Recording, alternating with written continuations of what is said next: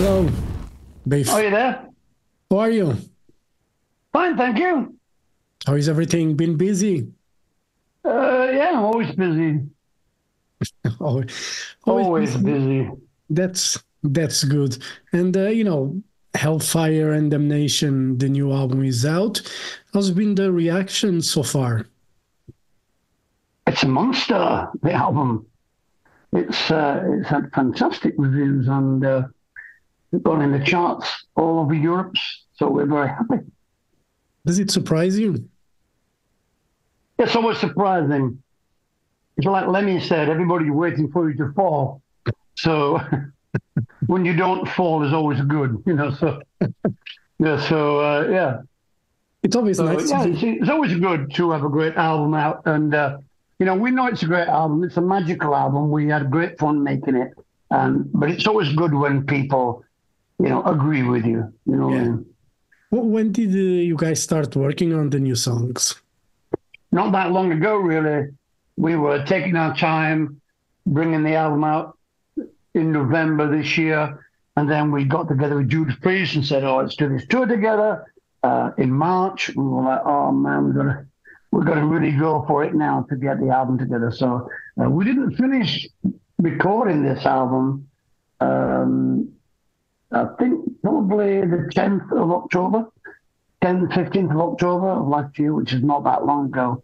Yeah. So uh, yeah, very very quick album you know the album for me as you were saying it's there's you talked about being magical you guys seem to be very inspired on this on this album is there any reason why you were so creative well i think think all the all the guys in the band um you know played fantastic on the album and uh because the songs are um because the songs are, um, you know, they're, they're not too difficult to play these songs. Uh, I think people were concentrating on the sound and playing. I mean, uh, you know, the guitars that they use. I mean, I think Brian used a, a Gibson Flying V predominantly, and uh, you know, Doug used a Les Paul, Gibson Les Paul, and a Fender Strat predominantly. So uh, the sounds are quite retro 80 sounding but much bigger, if you know what I mean. Yeah. Did you guys work? So I think, yeah, I, th- I, think the guys did really well recording the album. The guitar solos between Brian, Doug, and Paul are fantastic. You know, some of the best guitar playing, you know, I've heard on Saxon albums for a long, long, long time. So I think it's great. Yeah. Do you guys work separately on the songs or you guys get together and work as a team?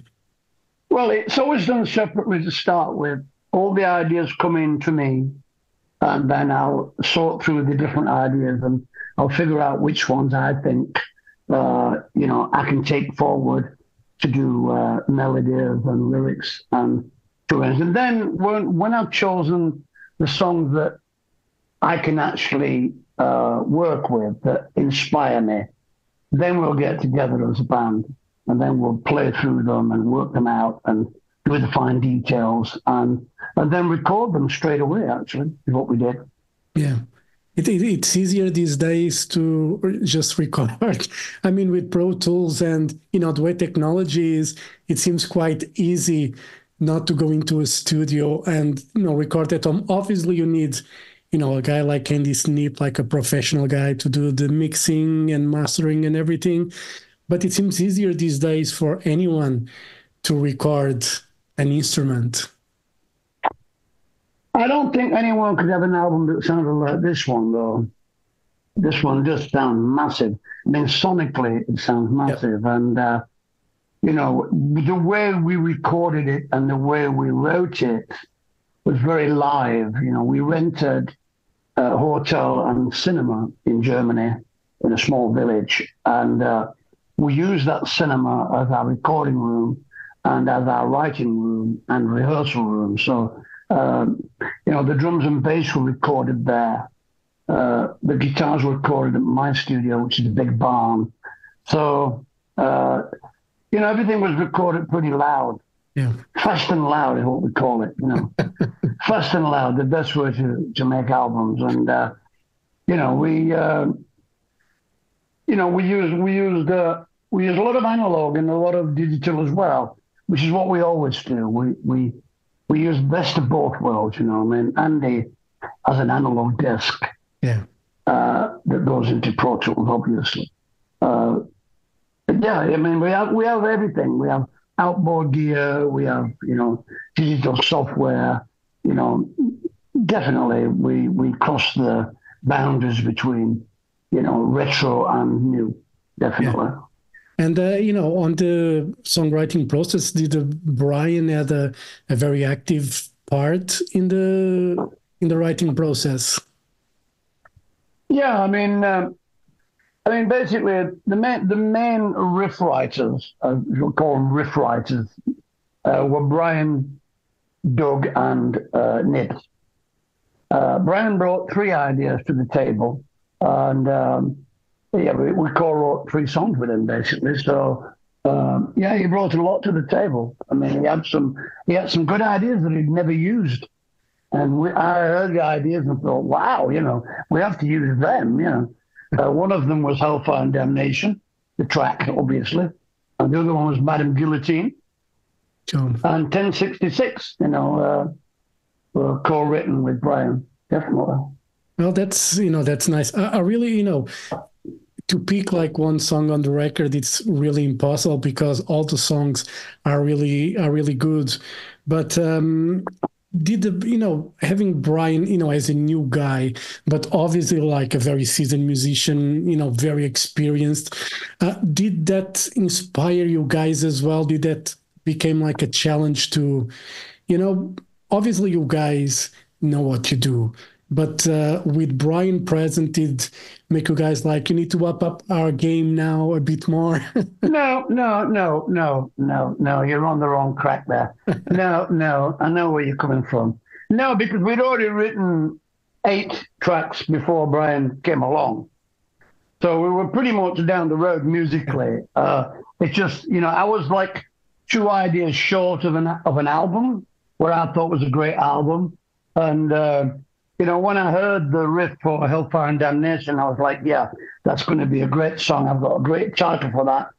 Let's arrange it. Let's, you know, let me write some lyrics for it.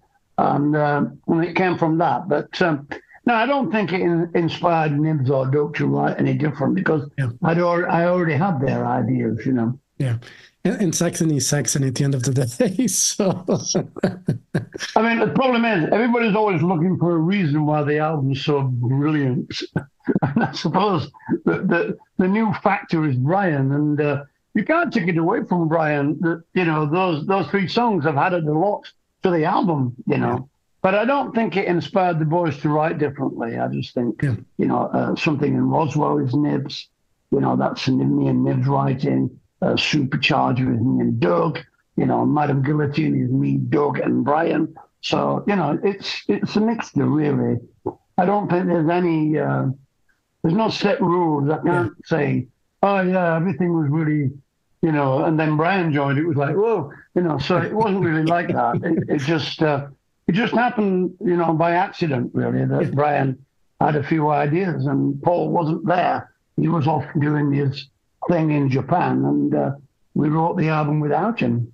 Yeah, and realistically, you know, to be honest, like the the last few Saxon records, they have been quite good as well, like really, really good. So, you know, I, I was saying that just to have an idea if it would just spice things up, but you know, you guys are really in a good in a good space anyway with with or without whoever. so yeah, I mean, Carpe Diem was a great album. Yeah, I mean, that came out of COVID.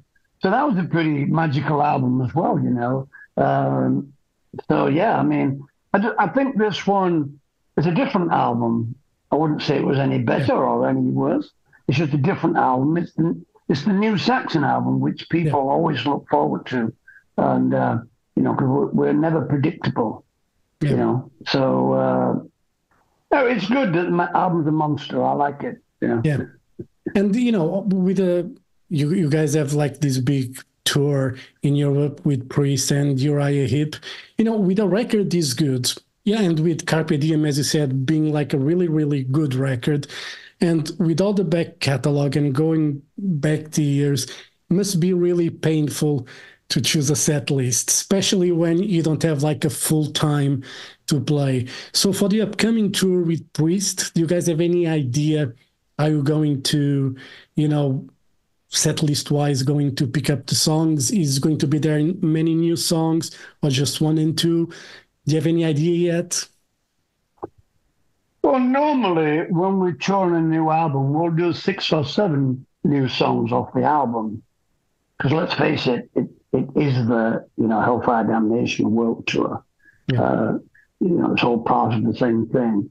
But we'll probably do. I would say we'll probably do five, six new songs on the tour. On the tour, you know, we'll probably be playing over an hour, I think. So uh, we'll see what we can squeeze in. You know. Yeah. I'll try not to talk too much and play more songs. That I think that's the key. so, uh, so yeah, not get too carried away, winding up the audience and getting them all to sing back and you know shouting and screaming. So but we'll probably just keep to the music yeah. uh, rather than not so many uh, frontman things going on. But you never know. You know, uh, audiences can be crazy, crazier than crazier than me. So you know, you have to uh, see how it goes. Really. Yeah, and uh, you know, on the on the record, the intro prophecy is narrated by Brian Blessed. Um, how did this collaboration come up? I think it was Bloodstock 2021.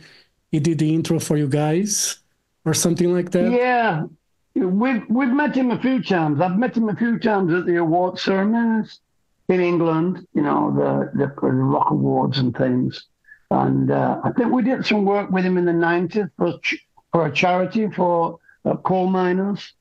Uh, so we, we have crossed his path quite a few times. So I suppose we are friends, you know, uh, but not not bosom buddies, but yeah. we are friends.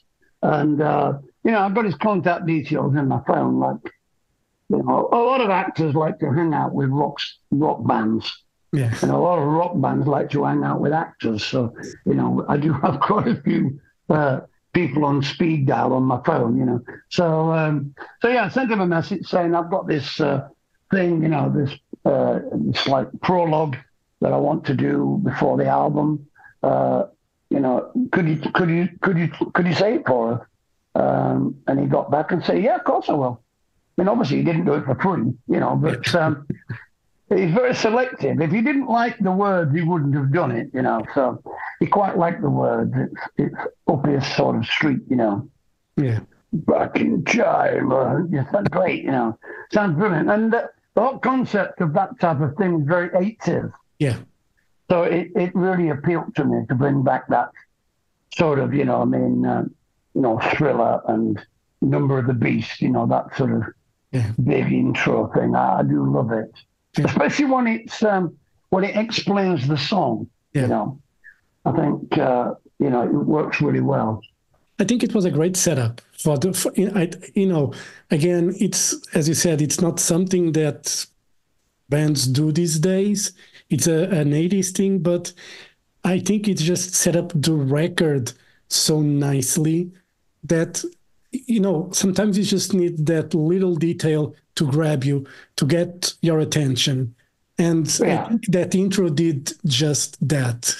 It's just a crazy idea I had. I had a crazy idea, you know, I said, let's start it with like, you know, synthesizer thing going on with some voices. I did some deep voices, you know, like demon voices on backwards, some software that me and Andy were having fun with. And uh, I did a few screens and things. And then but I'm going to ask Brian to do the, the voiceover.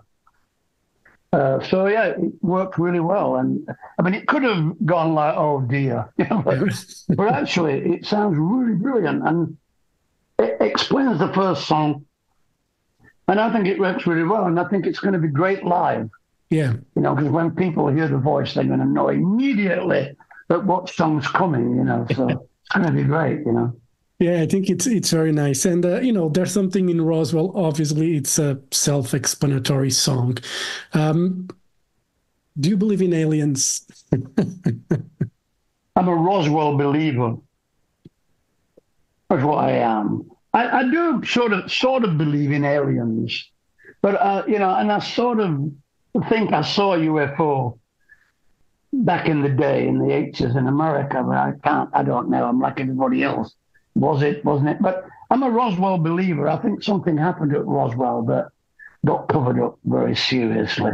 Yeah. And uh, all that, um, you know, in 1947, I mean, obviously I wasn't around then, but 1947 is ground zero, Roswell, for UFO enthusiasts. All starts from Roswell, yeah. really and all that mysterious Area 51 all comes along after Roswell. So I think it's a great, great subject to sing about Roswell because for a lot of people, it's it's a really big mystery and an enigma. Yeah, it's something crashed. Might have been, might have been a Russian jet. I don't know. Yes. It wasn't a. I don't think it was a weather balloon. Yeah, you know what I mean. That's what I'm yeah. talking about. I think there was something in Roswell. I'm a Roswell believer. So yeah. You know, for me, it's it's hard to believe that we would be the only sort of species, you know, in this vast universe. And billions of planets, yeah. Yeah, I mean, it doesn't. They don't need to look like us. They probably don't need to breathe oxygen.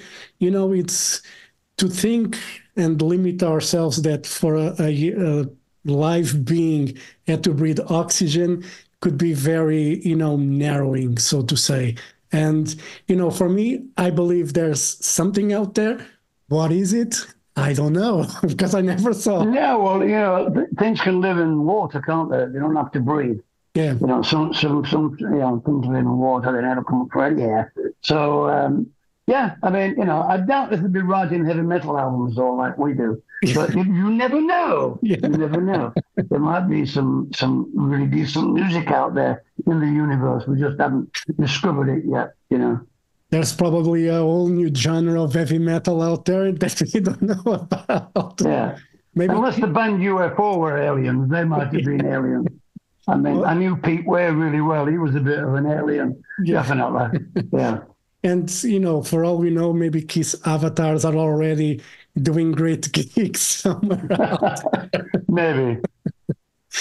and you know, I love one of the things that I love about Saxon. You know, besides obviously the music, lyrically, there's a, a lot of history that stories that you like to tell.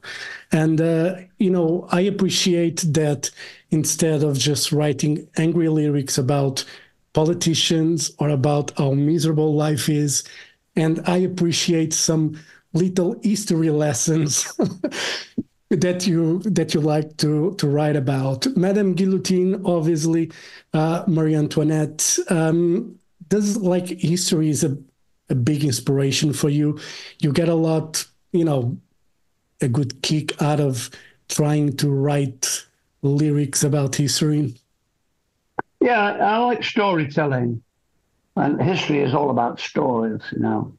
And I think I think between us and Iron Maiden, I think we pretty much uh, corner the market on history metal, really. Mean, I know some of the, the Scandinavian bands like Sabaton and, and Amon Amarth do quite a bit of history thing, but um, I think with the British, uh, it's a bit of a British thing. This, uh, you know, historical uh, lyric thing. Uh, I get a lot of inspiration from history. I mean, everything's history once you've done it, though. Yeah. You know, I mean, th- this is the beautiful thing about history, isn't it? You know, history is is happening all the time. You know, so um, you know, Roswell's 1947. You know, it, it's just uh, it's just crazy, crazy. You can go back to like you know the 1066, and it's just. Um, it's just a great thing to write about, and yeah. I find a lot of inspiration in it. And people do like it, you know. Even if if you don't know what I'm singing about, you can easily go on on you know go on your search engine and Wikipedia will give you the whole story, yeah. you know, everything. So it's quite interesting. You know, there is a there is a uh, there is a like a an end story to all my stories. You know, I'm you know I'm keeping it to three verses, four verses, but the stories are much bigger than that. You know, yeah. you could you could do a whole concept album about 1066. You know what happened in 1066. You know. Do you ever thought about probably doing like a big concept record. Is that something that you find appealing, or you just prefer to keep to the short stories, so to say? I think I think to do it justice, we would have to have a keyboard element in the band. Uh, because to, to, for me, a concept album is more prog rock, yep. really. But, but that's just me. I mean, it might not be, but for me, uh, concept albums are more progressive rock than or progressive metal rather than straight metal or straight hard rock. So it would have to be something very, very musical for me to do a concept album. Uh, I mean, obviously, I can storytell. That wouldn't be a problem. You know, we'd, we'd have to pick a subject like a 1066, something that had a lot of depth and a lot of history uh, and a lot of sub stories, you know. And, but I think for me, a concept album, the music would have to speak as well. You understand what I mean? Yeah. The music would have to create atmospheres and images. Yeah. So we'd have, we wouldn't be able to write it as like 10 separate songs. We'd have to write it as a concept. Although some bands just write 10 songs and then just put a bit of a bit of music in between the songs and call it a concept album. But I wouldn't want to do that. If I was yeah. going to do it, I would want something like Close to the Edge, yes, or something like that, yeah. or you know, Dark Side of the Moon or something, something that connected, you know, through the through all the songs, you know, and, and took you on a journey. Yeah. You know?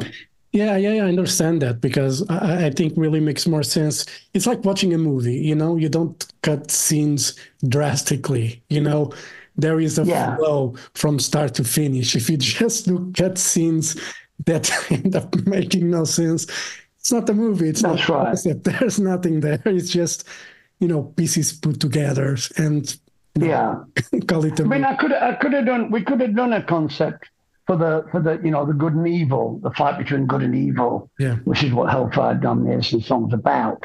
Then that would have been quite a nice concept, but it would have took me to different places. But I'm quite happy where we are, you know, just making monster albums, you know, yeah. with history. cool. cool. And, you know, let's just say if this was the last Saxon record, which is not going to be, but if it was, uh, would you be happy with all that you achieved?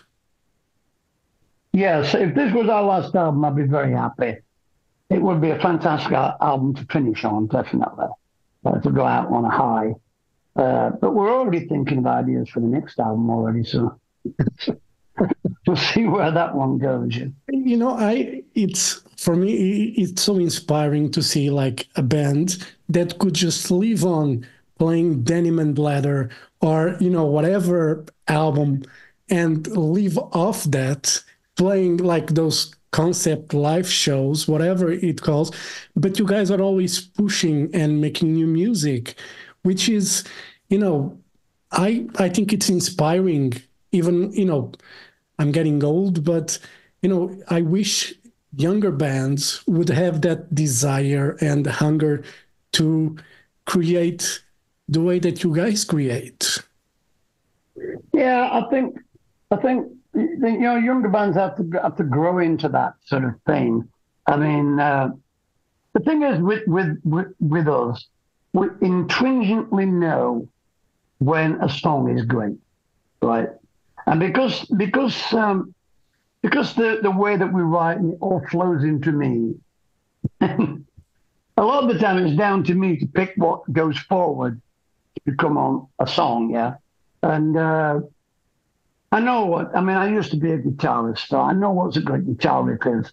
I know how hard it is to play, and I know where, and if it, if that guitar riff moves me, you know, to, it inspires me to write a song like Hellfire and Damnation, and that's where you need to be. You can't fool yourself. Yeah. You've got to be honest with yourself. Is this song good or is it a piece of shit? That's, that's what you have to say to yourself. Yeah. Yeah. As a band. Yeah.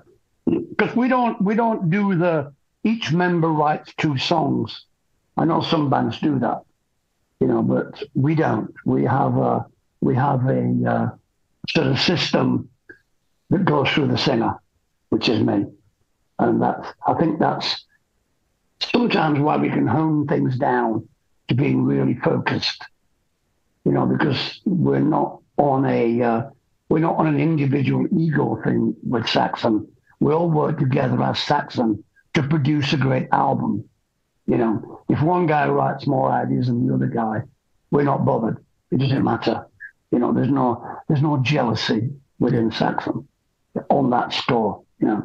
That's you know that's great to to hear, and uh, obviously you know we talked about the tour with Priest and Uriah Heep. You're going to the US with Uriah Heep.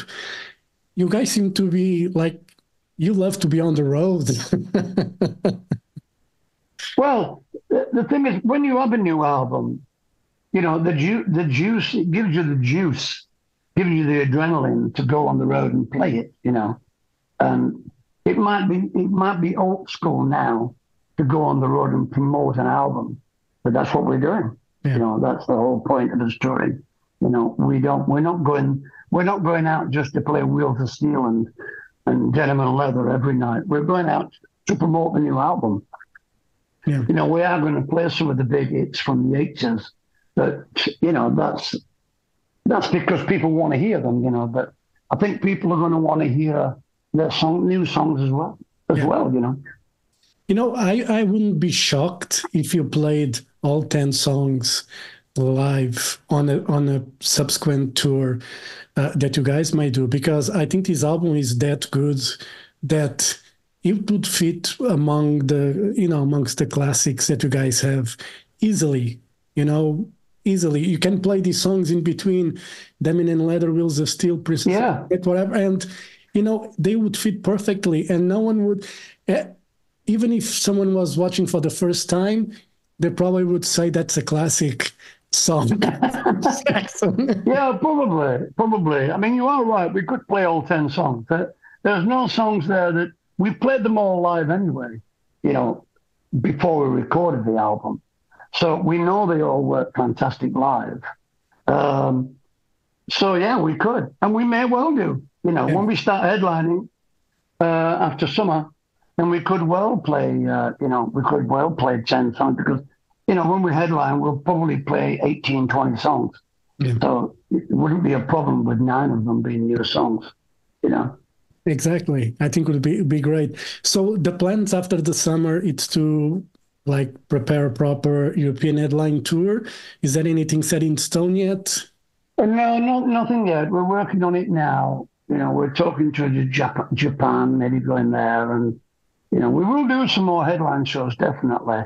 Um, you know, we're doing some, we're doing a few headline festivals. Actually, we're doing, we're doing, uh, we're doing the big Hellfest in France, and we're doing one down in Spain as well, uh, uh, a big headline festival. Yeah, here. So um, I don't, we're not doing Portugal though, are we? I, I know you're from Portugal, aren't yeah. you? But uh, it's difficult to get shows in Portugal. I mean, the only thing the gigs we get awfully important, like biker festivals. You yeah. know, there's, the only, there's nothing wrong with biker festivals. But I know, but they seem to be the only people that actually realise that Saxon writes great music down there. So, it, you know, it, it is weird because I obviously I have a lot of people that I know that are metalheads, and they keep asking about Saxon, and I'm saying, you know, just fucking annoy the promoters and say that you want Saxon. you know, don't just go on Facebook or whatever and say like, oh, why Saxon is not playing Portugal. You know, just send an email, send emails. Yeah. Interest because, you know, otherwise it, it's, and this day and age, we, we know that agents play a big part in how some festivals are done. And if you don't work with a booking agent that doesn't have Saxon or, or something, you know, it's very unlikely you'll have Saxon if you don't work with him. You need to find, you know, it's it's I know it's difficult, but you know, I would love I go to I you know, we talked last year and you know, I went to Ireland to see you guys play at the um, the Olympia. And it was a fantastic show. And I'm going to Dublin again in March to see the show with Priest. Because right. you know, it's not coming to Portugal you know, it's fine. I'll just fucking travel and just enjoy. Yeah, great. It, it's strange because there are festivals in, in Portugal, and we, you know, we could play. I mean, quite a lot of German bands play there from our era. You yeah. know, so I can't see why Saxon can't get down there. I think maybe in the nineties, perhaps we went to Portugal a couple of times, yeah. and it was in that period where nobody really gave a shit yeah. about British metal anymore. So maybe we, uh, you know, I know Motorhead, you know, didn't do very well in Portugal either yeah. when they used to go there. So um, I don't know. Maybe you know, maybe we are just they were just into death metal at that time or something else, you know, and it went over their heads a bit. But uh, the time's right now, you know, for yeah. Portugal to come back to the family. So we should be playing a festival in Portugal, definitely. Yeah. There's still time. Yeah. It's only January. you know, people have to get uh, get involved and get some uh, get some stuff on Facebook and social yes. media and send some emails out uh, yeah, we'll de- if somebody else is a good show, we'll definitely come. Yeah, uh, I'm sure. You know, we have to work on that. Biff, thank you very much for your time. Uh, all the best for Hellfire and Damnation. I'll see you in March in Dublin. Uh, I'll try. Yeah. I'll try to be in the pit to take photos. I have to go through Judas Priest first to get to get the mission, and then everything will be easier. So it's the tough part. Yeah. It's to reach the you know, I already talked with the label, but you have to go to the management, and it's always take their time. You have to go through everybody, mate. Yeah, it's, it, it's a nightmare. it is. anyway, you can take as many photographs of Saxon as you want. By the way, we're okay with that. Yeah.